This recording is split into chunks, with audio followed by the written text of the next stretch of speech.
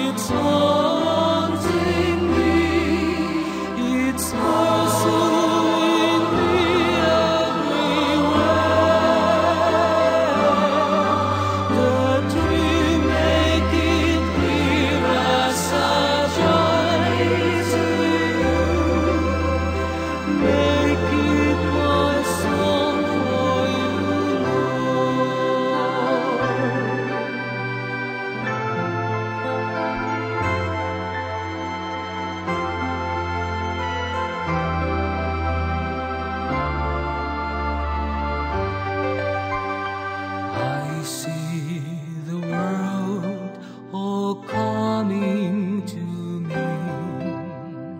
I ask myself, but why after me?